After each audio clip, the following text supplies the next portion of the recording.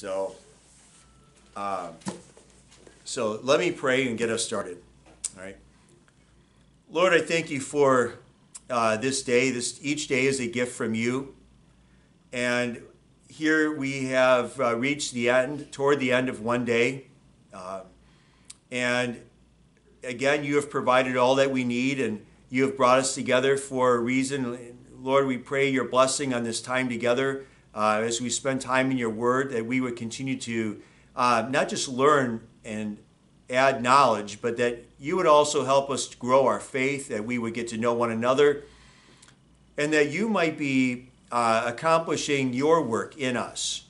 And uh, so, Lord, as we sit down together, I pray that you would also uh, maybe bring into our conversation questions that we have um, so that we're able to apply your word uh, to those questions that we have.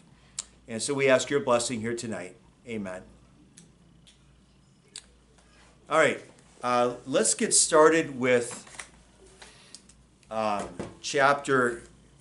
You know, I just uh, was thinking, Andy and Nicole, yeah, I've seen you now at least once. Did I give you a book?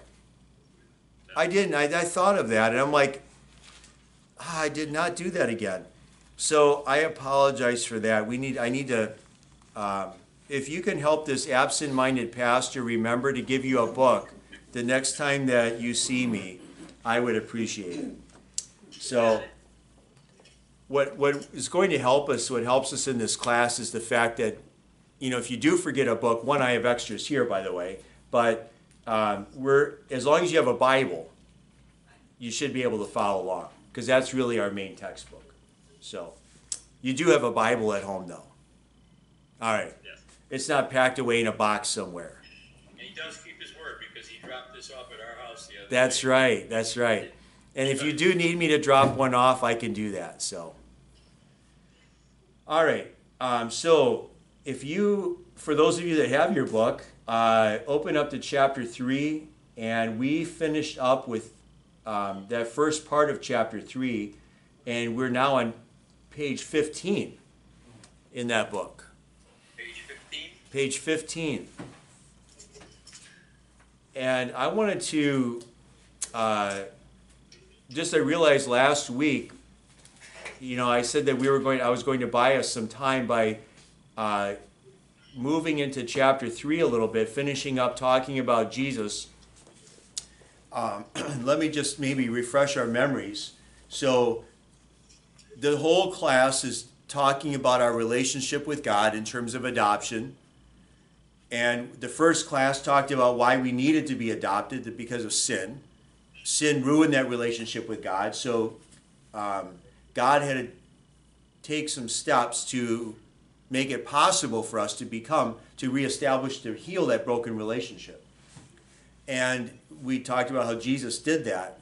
And then the question is well, what kind of God do we have? What kind of God would want us and go through all the, the trouble of redeeming us and, and making us his own. So, um, to, last week and this week, we're taking a look at God. Who is God? Well, God has revealed himself to us as Father, as Son, and as Holy Spirit. And so last week we looked at God the Father, and then we, la- we finish up with God the Son, Jesus. And now tonight we're going to be addressing the third person of the Trinity, God the Holy Spirit. All right? So, having refreshed our memory a little bit of where we've been and what we're going to be looking at tonight, let me ask you from last week or just in general, um, are, do you have any questions or thoughts? Maybe there was one that I thought that I have to see if I can get back. I just realized there was a thought. Oh, I do have a thought. So, but I'll ask you first. Um, anything at all that you is on your mind or wanted to bring up? I mentioned last week we had a conversation. I don't remember who said what anymore, but I remember something I said, and I feel like I didn't quite finish that thought. Um, we got into the really great subject came up about can we know can we be certain of eternal life for ourselves? Do we know that if, today, if we died, we would be in heaven? And we talked about how um, our salvation, our ticket to heaven, doesn't depend on us at all. That it's 100% on Jesus. Jesus completed all the work for us, everything that needed to be done. Um, and so trusting in Him, heaven is a gift. And I said, nobody in heaven deserves to be there. And I also said, this is the thought that I remembered, I, what I remembered me saying, and I wanted to maybe expand on that a little bit, was I said, um, good people go to hell, and bad people go to heaven. I said, there are good people who go to hell, and there are bad people who go to heaven. And the reason I like to say that that way is because that gets directly at that mistaken idea that we have that somehow it's good people who go to heaven. Good people don't go to heaven. Forgiven sinners go to heaven. The Bible doesn't talk about good people and bad people. The Bible only talks about sinners. The whole world are, is full of sinners. We're all sinners. So there's not good person, bad person. It's sinner, sinner, sinner, sinner, sinner, sinner. We're all sinners. And the only way to get into heaven for a sinner is to be forgiven by Jesus. So that's what I wanted to expand on. Something I said just in passing, but I didn't say any more. Now, having opened up that conversation again, I'll ask you any more thoughts on that? I got one. Yes. What are you laughing for? Yeah, he would, he had more than one. If, if Jesus judged the people to be in heaven, then don't they deserve to be there? I understand what you're saying, but if, but if he's judged that they should be there, they deserve to be there?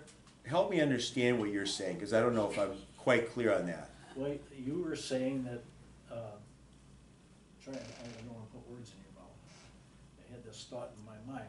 Yeah, You said that there, people that are in heaven don't deserve to be there. correct. So I understand kind of what you're saying. But then on the other side of that coin, I'm like, well, if they've been judged and he deemed that they should be there, then shouldn't they be there? So what, the, no, when I Don't say they no deserve to one be there? deserves to be there, Don't they deserve to be there? they haven't earned it. It's a gift. Nobody in heaven has earned their way into heaven. Nobody. I- I- That's what I'm saying. Yeah, I agree with you, but I, I think that's different than the other. I, and so it, the only, if you want to understand it, I get your point, is you're saying they belong there, most definitely. Yeah. Because Jesus died for them, Because forgave their sins, they definitely belong there. God put, you know, wrote their names in the book of life, the Lamb's book of life. Absolutely, they belong there, but they don't deserve to be there. I agree. So, and that's why words are important. You're right. I'm really glad. See, this is what I, I really enjoy conversation, and so many times, I mean, you know, we watch the world around us, and people can't have, they've lost the ability to have a conversation. And so I really do value talking, you know, and exchanging ideas and questions. I love that. So, well, are you wanting to ration out your questions over the weeks, through the weeks? So if you have more, um, you know, I, I do, but they'll only come to me when I, when they come to me. all right, That's what I told you, and I said about Wednesday when I meant Monday, that's what I told you last week, it's like, I got questions, I can't wait for the answers till Monday. But- And I told him Wednesday, and he looked at me like I had a second head. So, yeah, that was one of them. you know, I honestly, I, so I, Write 'em down. yes. Yeah, anymore, that's what I'm having to do too, is write things down, right at that moment. Yeah, Otherwise I'll forget it. that's right. What was that again? You you want it right there, you You can. have notes for everything. Go to the store with a note and then I come out and still my pocket. You forgot to look at the note. You get, you need a note to look at the note in your pocket. At least you brought the note with you. Write them and leave them. Where I wrote them. Well, I hope that everybody at home, that you could hear that conversation. Yeah? Okay. That they will, but I was gonna bring up a point, I don't know if it makes any sense, that you mentioned that in order to get to heaven, you just have to acknowledge that Jesus died on the cross for your sins. Is that what, is that what I got out of that? even I think I would say more than that. I'm trying to think of how the Bible, uh, Jesus says in John three sixteen that whoever believes in Jesus, I mean, the devil will acknowledge the fact that Jesus died on a cross to pay for the sins of the world, but the devil will not. You know, the devil in no way believes in Jesus as Savior.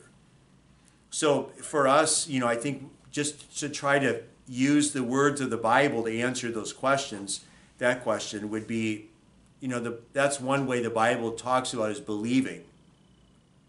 So it's one thing to know. Uh, I some in confirmation, junior high confirmation, I I, I use this, ask the kids this riddle. Um, I say people miss a lot of people miss heaven by 18 inches. Right? And I say, what does that mean? And I let them think about it for a while. I don't think anybody's ever gotten it. Anybody know? Anybody ever hear that? A lot of people miss heaven by 18 inches. 18 inches is the difference in the distance between the head and the heart. And so a lot of people know about Jesus. They could be, they could have heard about Jesus all the time, and it's in year one, year out the other. What matters though is whether we or not we believe it. So I, I you know, I think that's where I, I would say, That could be, yeah. if that makes sense, Yeah, you know. And there's a lot of people too. I think I don't, I don't know how many, but there's certainly a good number of people who have faith in their religion. You know, in the in terms of, you know, they again it goes back to where are you putting your trust in Jesus 100% or in being a good person and going to church enough, reading your Bible enough, praying enough, being good enough. Um, so people are are um, sometimes I get I'm left wondering, you know, I can't see their faith to know, but it, I'm sometimes I wonder like where is their faith in? Um, so again, they they've heard about Jesus a lot, but uh, again, it's about believing in Jesus. So, yeah, that's what I got out of it. Yeah. When you said, yeah. well, good. So hopefully our wheels are turning a little bit, and uh, we're off to a good start. So unless there's any other comments, we'll jump in then to page 15 um, in our workbook, and I said we were going to be looking at God the Holy Spirit. So let's do that. Uh, that first text uh, I'd like us to look at 1 Corinthians chapter 12. 1 Corinthians chapter 12. Seventeen eighty-five. 1785, says Barbara.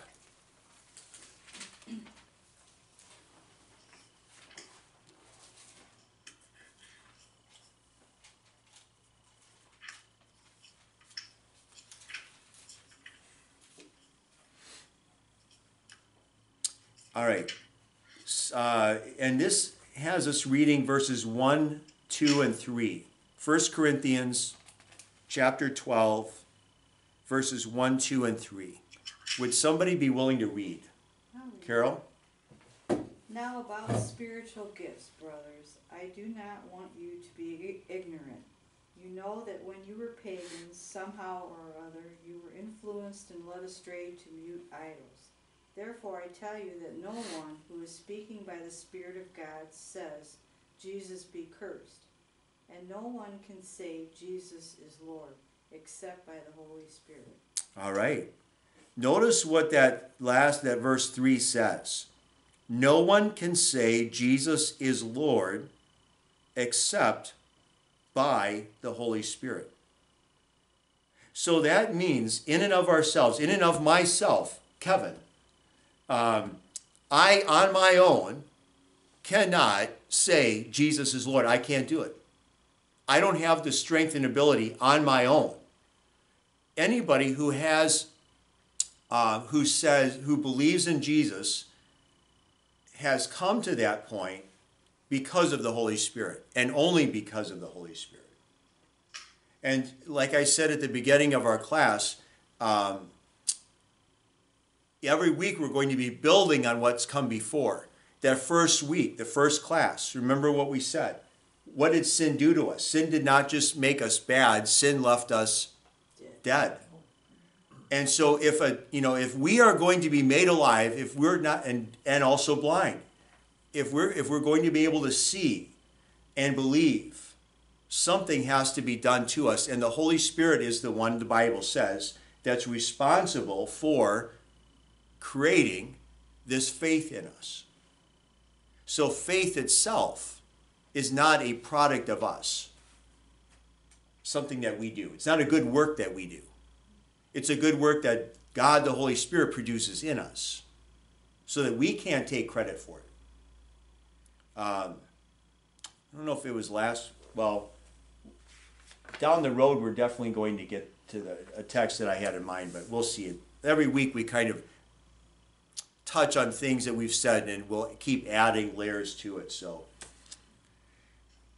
um, so when it comes to the Holy Spirit, just an example. So, how can I like pictures? I think in pictures. So, one way that I like to, or I, I think about this is, um, rather than somehow uh, giving ourselves credit for that, we what we might say is that just like when you're maybe on a school playground and they're choosing teams.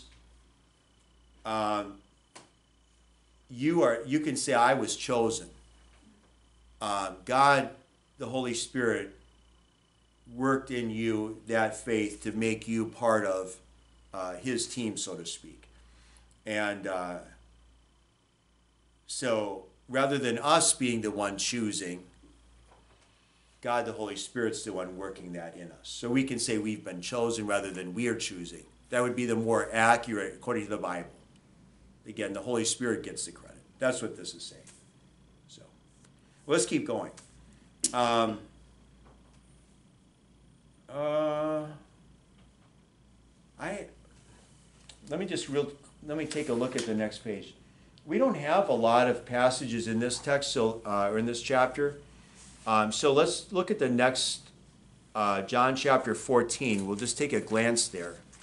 John chapter, turn left from 1 Corinthians and go to John 14. Sixteen seventy-six. Yeah, there's a whole bunch of verses there. John chapter 14 is on page 1675. But we're starting with verse 16, so that's on page 1676. And we're jumping around. Um,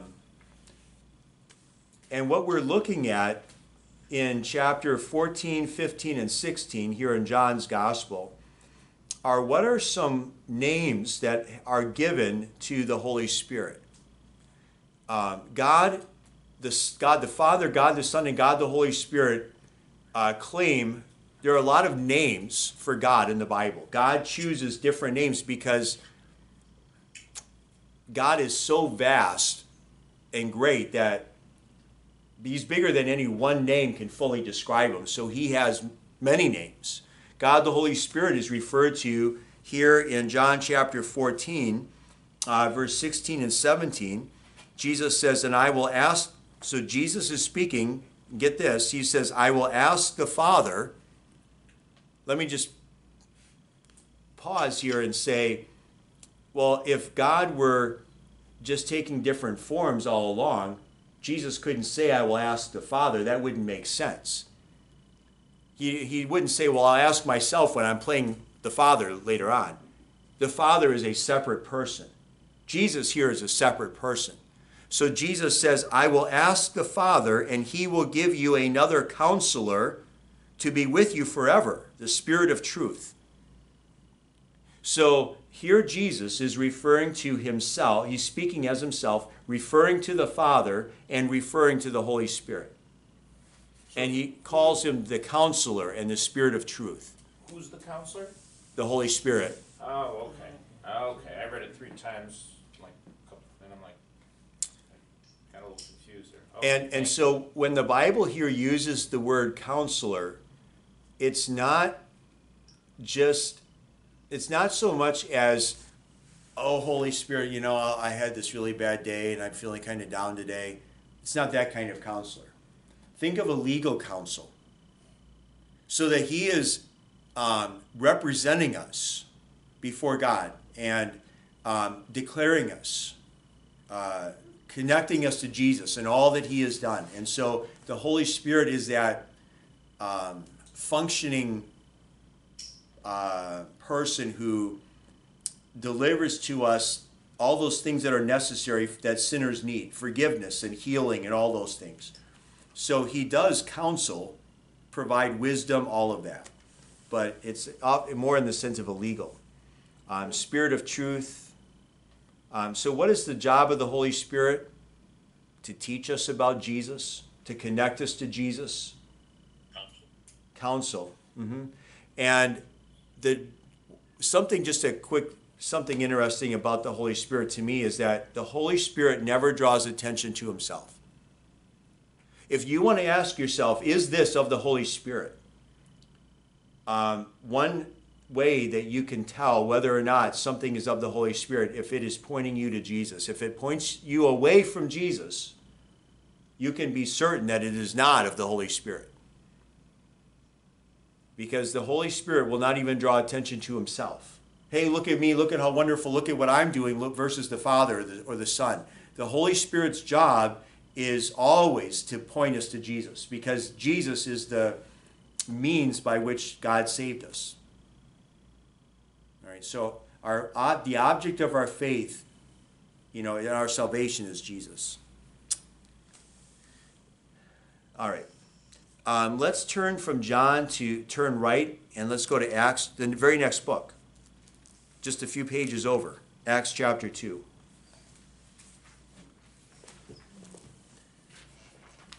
So we can't talk about we can't talk about the Holy Spirit without going to the day of Pentecost.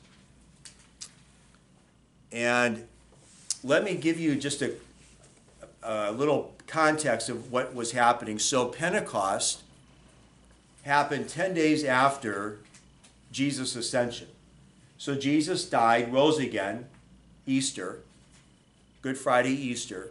For 40 days, Jesus appeared to people, spoke to his disciples, um, and then 40 days after those 40 days, Jesus ascended into heaven.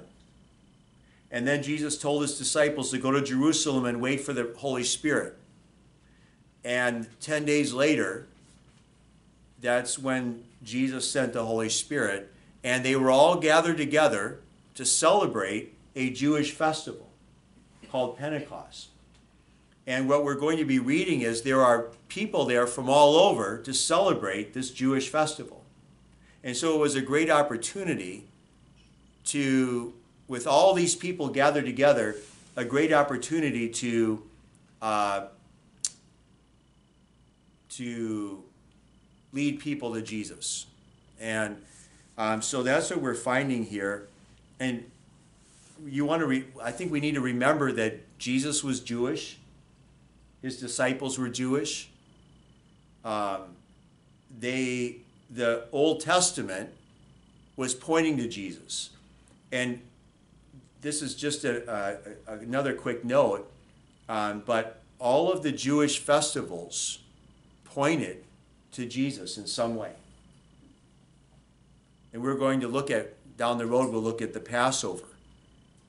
And um, and the connection to the Lord's Supper. Jesus, they, the disciples were celebrating the Passover when he, he made the new meal called the, that we call the Lord's Supper. All the Jewish, all the important salvation events happened on Jewish festival days. And one thing that I, and it's not just my idea, but I ha- I was thinking about that, and I was like, well, the only there's only one unfulfilled Jewish festival left that isn't that something hasn't happened yet, the Feast of Trumpets. And what does the Bible say in Revelation that um, the trumpet will sound and Jesus will appear with his archangels? And when do, in the Jewish year is the Feast of Trumpets? It's in September, October. And so every year in the back of my mind, I'm wondering, could this be the year? Could this September, October be the year? I just, every year. Now we just start, made it into November, so I don't know. I, I'm, that's just, Jesus, you can't, if he comes back in November, I'm not going to be like, what are you doing, Jesus? I had you coming back in September, October, you're late. but uh, anyway, that's something I think about. So here, though, they are, they're celebrating this Jewish festival. And uh, let me read here and listen to what happened. This is the day of Pentecost. When the day of Pentecost came, they were all together in one place. Suddenly, a sound like the who is they? All the first disciples. Not only the 11, you know, the 12 minus Judas, but also Jesus' mother Mary, the Mary Magdalene. All the, all the first Christians were able to fit into one room. Imagine that. All right? They were all together in one place. Suddenly, a sound like the blowing of a violent wind came from heaven and filled the whole house where they were sitting. They saw what seemed to be tongues of fire that separated and came to rest on each of them. All of them were filled with the Holy Spirit and began to speak in other tongues as the Spirit enabled them. Now they were staying in Jerusalem, God fearing Jews from every nation under heaven. When they heard this sound, a crowd came together in bewilderment because each one heard them speaking in his own language. Utterly amazed, they asked, Are not all these men who are speaking Galileans? Then how is it that each of us hears them in his own native language? Parthians, Medes, and Elamites, residents of Mesopotamia, Judea and Cappadocia, Pontus and Asia, Phrygia and Pamphylia, Egypt, and the parts of Libya near Cyrene, visitors from Rome, both Jews and converts to Judaism, Cretans and Arabs. We hear them declaring the wonders of God in our own tongues. Amazed and perplexed, they asked one another, What does this mean? Some, however, made fun of them and said they have had too much wine. And then, um, so Peter then gets up and he preaches. Who does he talk about? Jesus. Jesus.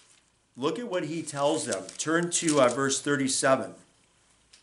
Actually, back up uh, to verse 36. 36 through 40. Peter says, Therefore, let all Israel be assured of this God has made this Jesus, whom you crucified, both Lord and Christ. You imagine if you heard that? They were guilty in one way or another, directly or indirectly, of killing God the Son. And so you can understand their response in verse 37. When the people heard this, they were cut to the heart. What a powerful words right there. Cut to the heart. We know what that feels like. Um, they were cut to the heart and said to Peter and the other apostles, Brothers, what shall we do? Isn't that our normal reaction? Now we have to do something. Well, what are we going to do? We can't do anything. So Peter replied, Repent and be baptized, every one of you, in the name of Jesus Christ, for the forgiveness of your sins, and you will receive the gift of the Holy Spirit. The promise is for you and your children, and for all who are far off, for all whom the Lord our God will call. Um, and with many other words, he warned them and pleaded with them Save yourselves from this corrupt generation. And those who accepted his message were baptized, and about 3,000 were added to their number that day. Pretty powerful day. Um, and we'll come back to that text down the road. But um, the Holy Spirit was um, powerful in that particular event um, and it's not something that we should always expect. Like we can't. Ex- it wouldn't. It would be wrong for us to expect the Holy Spirit to come and appear with tongues of fire again. That's not going to happen. That's not how the norm- Holy Spirit normally operates. This was something unique, a one-time event. Now the Holy Spirit, and it wasn't like the Holy Spirit wasn't around doing any doing something before. Absolutely was. I mean, you, we find the Spirit already in Genesis when it says the Spirit was hovering over the waters. Um, so the Holy Spirit has been moving. The Spirit is the one in the Old Testament speaking through the prophets. So the Holy Spirit is was actively working. Jesus did his ministry with the help of the Holy Spirit. We're told. But here, what happened was um, the Holy Spirit poured out unique gifts so that um, this was the beginning of the church. Jesus was going to be continuing his work through the church, through these disciples. And so that was made visible to them so they could understand it because we're we're physical creatures. If we it's hard for us to see things, understand things we can't see and touch and feel. And so they heard the wind, they saw the flame. They're like, "Okay, this is the Holy Spirit." And they got it. And we can see it by way of because of we have it in the Bible. Does that make sense? So the Holy Spirit is this powerful person of God um, that has this power to uh, create faith and to change lives. So, I have a question. yes. We had friends that were Pentecostal, Mm-hmm. and I thought they believed and still believed in speaking in tongues. Right. So the question is uh, about speaking in tongues. I don't know. Has anybody here, anyone else heard of that? Speaking in tongues? Yes. Yeah. So there are some Christians. I have cousins that are. Um, uh, one is Assembly of God. Another one is um, uh, just non-denominational. Um, they both are pastors. Kind of unique. So there are three boys in this family. Me, Dennis, and Greg. They're older than I am, but we all three became pastors. You know, but separate. Yeah, they were raised Missouri Synod Lutheran, but uh, anyway, it's not about them. But they they also at times I remember them talking about speaking in tongues from an early age. Um, and so there is some debate among Christians among whether or not this gift of the Holy Spirit is still utilized.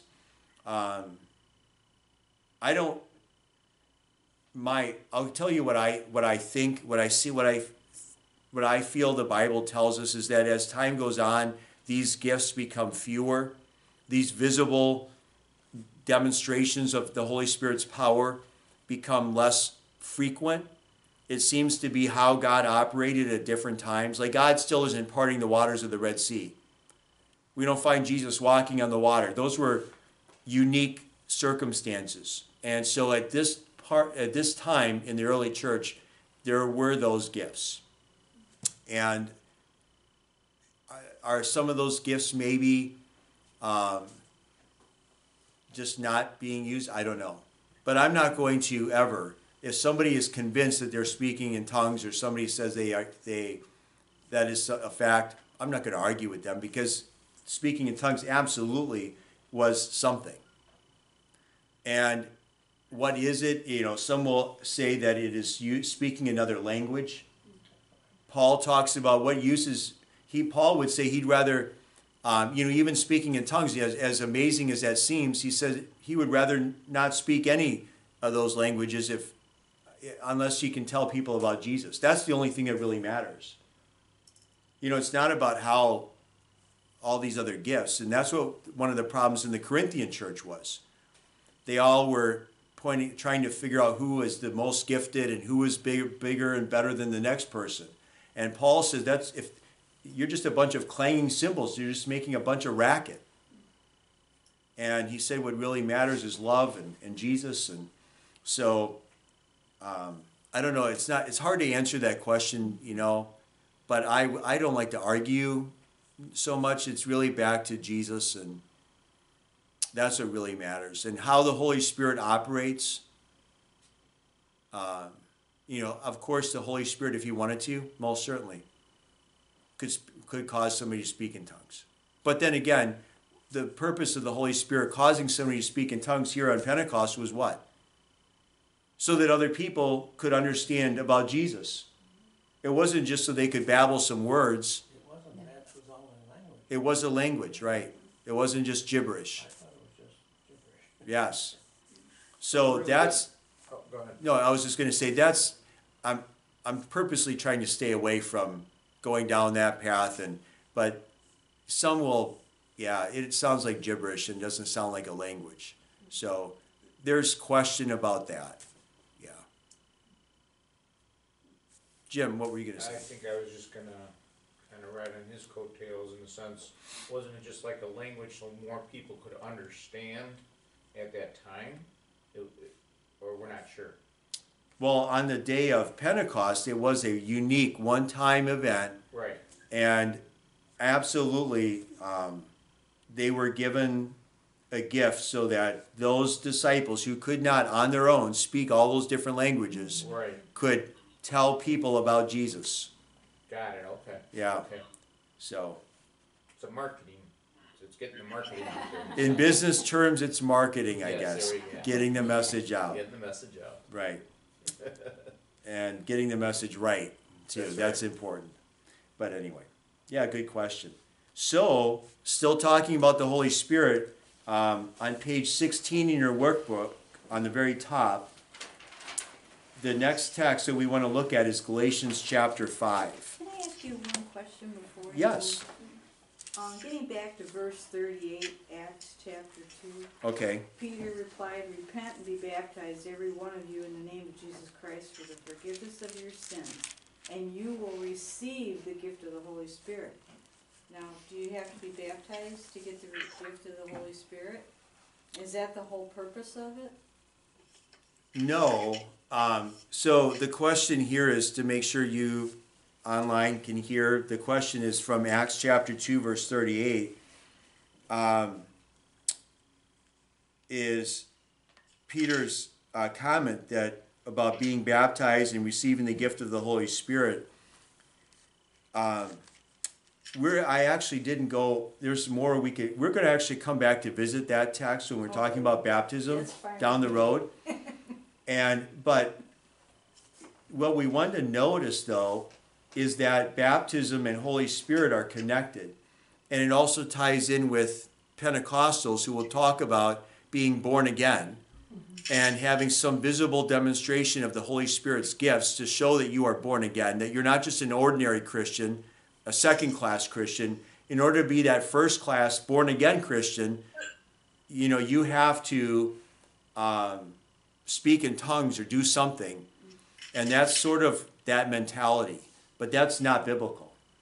So when when somebody becomes a Christian, when they're baptized into Jesus, they are given the Holy Spirit. They, we get all of the Holy Spirit. God doesn't just give us a little bit of the Holy Spirit; He gives us all of the Holy Spirit, and then, um, but as time goes on, He gets more and more of us. So more our head, our th- way of thinking is transformed, our way of living is transformed, um, and that takes time. So we're saved, but then the process of making us uh, less sinful, working the sin out, is a process. But that's all the work of the Holy Spirit, and so we don't have to look for more of the Holy Spirit down the road. We have all of the Holy Spirit. So, but we'll talk more about that down the road. Um, you did hear, I don't know if I can remember how this goes exactly, but you did hear about the lady um, who was uh, elderly lady. She was held up. Uh, somebody broke into her home and with a gun, and uh, the lady was shocked. She didn't know what to do, and so all she did was yell out Acts two thirty eight. Acts two thirty eight. That's all she could think of because what does Acts 2:38 say? Repent and be baptized every one of you in the name of Jesus for the forgiveness of your sins and you will receive the gift of the Holy Spirit. So she was this, you know, serious sincere Christian just yelling out the only verse she just thought of that reference and just kept saying it. And um, the uh, guy surrendered, he gave up. And she called the police, and the police showed up, and um, he uh, told the police that uh, the police asked why why he gave up, and he he told them that this woman had an axe and two thirty eights. you probably heard that already, but but I thought that's cute, you know. Axe two, yeah, two and two 38s. So anyway, I heard that one a long time ago, so I didn't remember see if I could get that one out right. But anyway, That's great. it's cute. All right, Galatians chapter 5, uh, page 18, Sixteen. 18, 16. So, again, who is the Holy Spirit? Uh, so, sometimes the way that we can better understand who God is is by looking at what He does. So, what does God the Holy Spirit do? One of the things that He does is He works something in us called the fruit of the Spirit. That's what we read about in Galatians chapter 5, verses 22 and 23. Anybody care to read that? I'll read it. All right, go ahead. But the fruit of the Spirit is love, joy, peace, patience, kindness, goodness, faithfulness, gentleness, and self control. Against such things there is no law. All right. So notice it says fruit of the Spirit, not fruits. So the Holy Spirit works in every single Christian all of this fruit. This fruit is something that we can expect to find in ourselves and in other Christians. So there's no such thing as a Christian who does not have, you know, is missing one of these things. So when you run into somebody who's a little, you know, crass and grumpy, well, that's just, I'm just, I'm just grumpy. You know, I, I don't, I'm not, or I'm not very patient. Well, that's what it goes back to. The Holy Spirit is working on getting more and more of us. And we're all guilty because we're all sinners.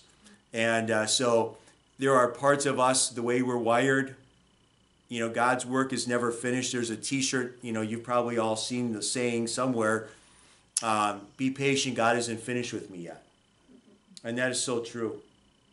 Because what He is working in us are all these things: love, joy, peace, patience, kindness, goodness, faithfulness, gentleness, and self-control. Those are all the things that the Holy Spirit is um, producing in us. All right. Um, and what is the tool that, that the Holy Spirit uses to work this faith in us? Well, we have it open right now the Bible, God's Word. That's what God is using, the Holy Spirit is using. So um, that's why it's so important, again, to be in the Bible. It's not just to learn, it's so the Holy Spirit has this tool at work in our hearts and produces those things in us that He wants. All right, let's look at, uh, turn left from Galatians, go to Romans 12. For those of you at home or those of you without a book, uh, we have just three texts left this one and then two more. Actually, just two this one and one more. And that's it. Romans 12, 6 through 8. 1764.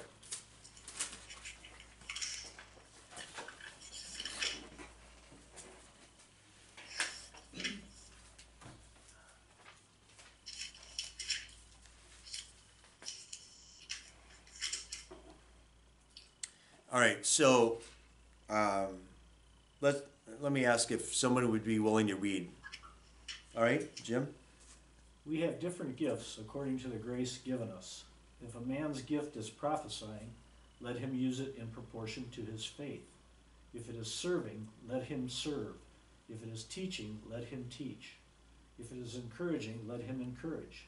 If it is contributing to the needs of others, let him give generously. If it is leadership, let him govern diligently. If it is showing mercy, let him do it cheerfully. All right, so here um, the key word is gifts. So to every person is given a gift or maybe multiple gifts. We don't all have the same gifts. Like I said before with the fruit, all the, the Holy Spirit is producing in uh, each of us all of the, those fruit. But God doesn't, God the Holy Spirit doesn't work all gifts in all of us. To one, maybe we have a gift of showing mercy or um, there's a in so there's another list in 1 corinthians 12 one and there they list hospitality. We all know people who are here he talks about encouraging. I, I bet in every one of our lives and nicole maybe you as a teacher uh, who works with young people but you know maybe we would call a teacher a special teacher or maybe a special coach somebody who was a who was gifted at encouraging who, who, who believed in us, who said, You can do this. And uh, so that is a gift. And what I like about this text and the other one that Paul uses, and those aren't complete lists either, but he lists there gifts that we don't always think about as gifts. Right? When we think about the Holy Spirit giving gifts, we sometimes think about the more public, high profile, you know, like pastors. Well, I'm not, I can never be a pastor. And then you think, well, you don't have any gifts. Well, most certainly you do. We just have different gifts. And so, um, yeah, so you, maybe your gift is leadership. There are people who are just wired to be great leaders. And that is a gift. And so that's one of the things I just personally wanted to share. I really like these lists because I want just to affirm each one of you that you have gifts of the Holy Spirit. You are not without gifts. There is something God has gifted each one of you in a special way. You are unique, special, important. All right? All right. Um, one more text uh, Romans 8. Romans 8. Uh, in particular, Romans 8, verse 26. So this is page Seventeen fifty-seven. 1757, Barbara says. Somehow I knew you'd be there. That's great. Would somebody read Romans chapter 8, verse 26? Go ahead. Yeah. In the same way, the Spirit helps us in our weakness.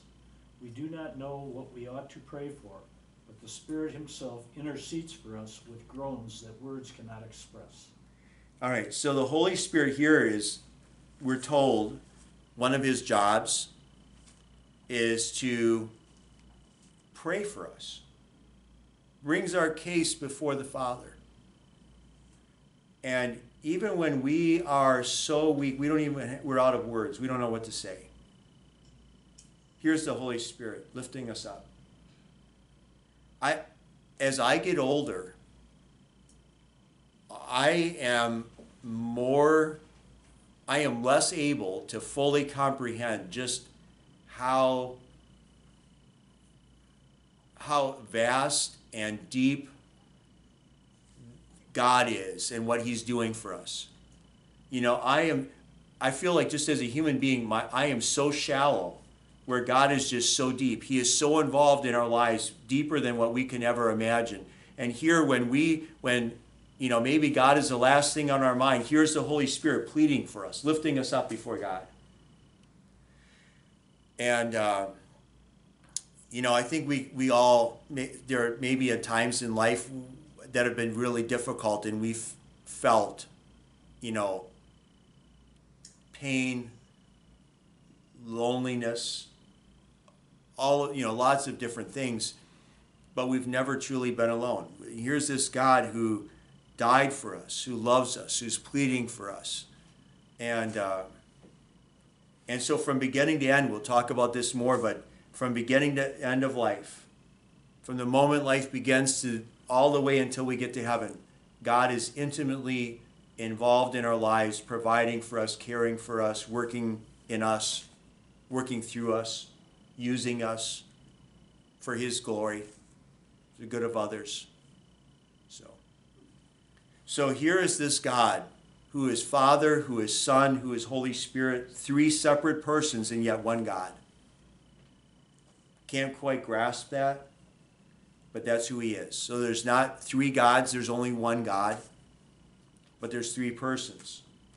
The Muslims will accuse us of be worshiping multi gods. And we'll say, no, there's only one God. And you know, then they'll say, "Well, great," but then we'll say there's three persons, and then right away they'll say, "No, okay, you're, you're all screwed up." And then of course we say Jesus is God the Son, and then the, you know we lost them. They'll say he's a great prophet. Um, but uh, so just so we're clear, one God, three persons. So, all right. Um, there's one question that on page 17 in our workbook, I'm going to, we have time here, so I'm going to read it and see what, any, if any of you have some responses to it. All right, so the question is New Christians often accuse God of being cruel because he will, quote, send some people to hell. In light of God being both just and merciful. Discuss this accusation. Let me read it again. New Christians often accuse God of being cruel because, quote, he will send some people to hell. In light of God being both just and merciful, discuss this accusation. So, how would you respond to someone who says, you know, God is cruel for sending people to hell? I really struggle with that. Remember, we're talking, this is um, talking about Christians saying this. They've come to faith, but they're wrestling with this problem. They're, they have this idea that God is somehow cruel because of hell. How would you respond? If there is there anything that you know, anything we've talked about that you could think of would be a way for us to respond, perhaps, now that you know a little bit about God? Not not now, but having known Him and after our conversations about God. Because they don't believe, they're not sorry for their sins, they don't believe that Jesus died for our sins. Yeah, I think that's a great place to start. So rather than placing the blame or the fault on God, is maybe looking at somebody who's saying no. No, thank you. I don't want that. Right? Right. So that's a, a good place to start. Right. Any anyone else? You know, I'll mention. Um, you, I think you probably have heard me say now in the last few weeks. One of the reasons for this class is not just to help people become members. That this class really is designed to do more than that. Is to help people be those missionary disciples, so that to so that you're able to teach and witness and do the things that God has called us to, to do as the church. And of course, you're not going to, after this class, you're not going to know everything there is in the Bible. After all my years of training and, and studying it to be pastor, and even after all my years of being pastor, I, it's just a joke to, for me to even suggest I know everything. So we're not going to know everything, but at least you're on the way to growing, um, to being that. So anyway, this is one of those questions you might run into.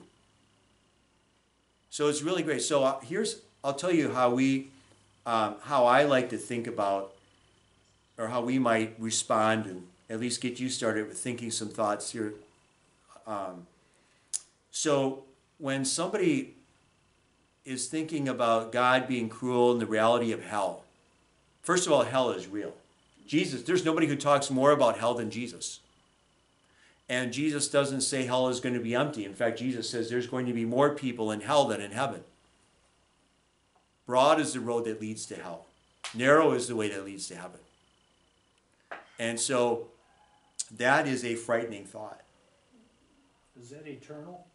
Eternal.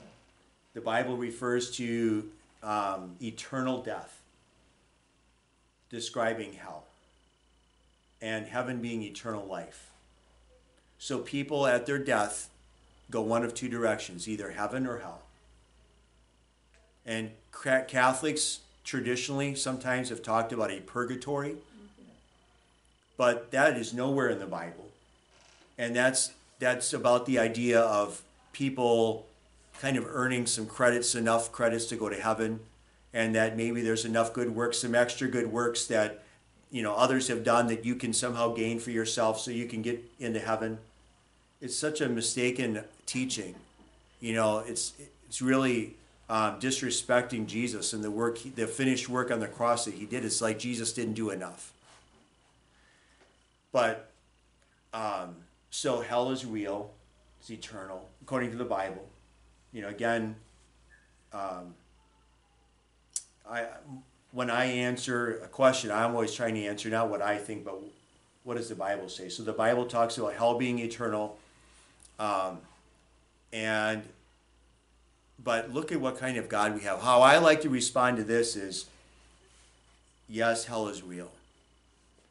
But look at what kind of God we have. That we have a God who is willing to come and stand between hell and a world full of sinners so that no one would have to go to hell. In fact, if anybody is going to go to hell, they have to go through Jesus. They're going to have to say, No, I do not want you, Jesus. No, thank you. And God will honor their request. God doesn't force anyone. And that's why in the beginning, Adam and Eve were given the opportunity to push him away. God didn't create robots who just like a doll that you buy in a store and you pull the string and it just repeats back, I love you, I love you, I love you. That God didn't want that. God wanted real people who had the freedom to force love. You know, the saying, there's a saying, forced love is no love at all. So um, God wanted, in order to love, you have that option, that freedom to push him away. And we know the story how that played out. But then look at what God did. God didn't just, in his anger, destroy everything and start over. He could have, but he didn't. And he was willing to come down and die on a cross. He took the only God forsaken, I've said this before, God took that only God forsaken spot so that nobody would have to. He went to hell so nobody would have to go there. So that's the kind of God we have. So the Bible says God does not delight in the, in the death of the wicked. In fact, the Bible says he wants all people to be saved and go to heaven. What But he- a person that commits suicide? So the question that uh, Jim asked is, what about the person who commits suicide? Um, there's only one sin in the Bible that says is unforgivable, and it's not suicide. Um, sin, obvious, or suicide is certainly sin. It's taking one's own life. It's murdering yourself, and so it absolutely is a sin, but it is not like I said, there's only one sin that is unforgivable. Um, and that is the continued willful rejection of the Holy Spirit until you die. In other words, the only sin is really rejecting Jesus' gift of forgiveness over and over again. That's all. So if you, if anybody's ever worried, like I, I remember as a kid in confirmation, I went to a Lutheran um, school, day school, and I remember wondering, and somebody maybe asked, I don't know if I did or not, but somebody asked, you know, what if we're what if we're guilty of that? And I remember the pastor saying, and this is true, that you know, if you're worried about whether or not you have, you know you haven't, because you have not rejected the Holy Spirit. You've not rejected Jesus. Um, and uh, and so, with the, in the case of suicide, yes, that person died in the process of sinning. But that does not automatically condemn someone to hell. If I, I mean, I, when Jesus comes back, knowing myself and knowing that I'm a sinner and knowing that I sin regularly, you know, in my thoughts or whatever, I might have a rash thought. What if Jesus comes back right in that moment? Now what? If going to heaven depended on whether or not I was not sinning at any given moment, I'd be scared to death. I ain't getting there. I know. Because nobody deserves to be there. So the people that go to hell do deserve to go. We all deserve to go to hell. But at this point, he will send some people to hell. Well, if he does, So now the question is who says he's sending people to hell? That they're what I was- sending. They're sending themselves there. Yes. They're rejecting Jesus. They're rejecting saying no. And God's offer is a free gift, fully paid. You, everyone is given a free ticket to heaven through Jesus, paid in full. Who would say no to that? Right? But Well, There's a lot of people out there Yes. that are. That's right. But again, going back to you wanting to just add, keep in mind that they are casualties of the enemy. They're not the enemy. Yeah. They sin left them dead. And so it's not because we are so smart or so good. It's because God, the Holy Spirit, has worked in us. So we are really no different than them. We, we can't take credit for it, for our salvation. All we can do is boast in the Lord and say, look at what God has done for me. And so, you know, people outside the church will accuse us of thinking that we're better than they are. But that's just the opposite. We know we're sinners in need of a Savior. You're the ones out there who think you don't need a Savior. and we want to tell you you do, like we do. We know how we know we're sinners. And we'd like to tell you about this Jesus. So but anyway, some some good thoughts there. All right, so what I'm going to do, 733, this next video, the video that I'm going to show you is like 10 minutes long. It'll take me 10 minutes to turn on the TV and the and the CD player. So so we've got time though. Uh, so um, I am going to uh, I think for the purpose of this right now, I'm going to turn off the camera. Uh, I saw, I'll say this. I saw Wendy, you sent a text. Uh, let me quickly check here on camera and see. Um,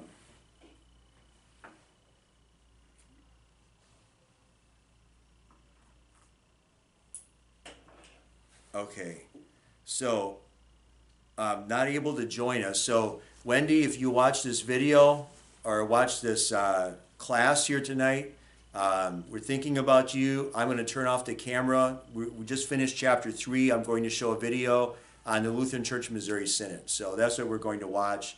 I'm going to turn this off.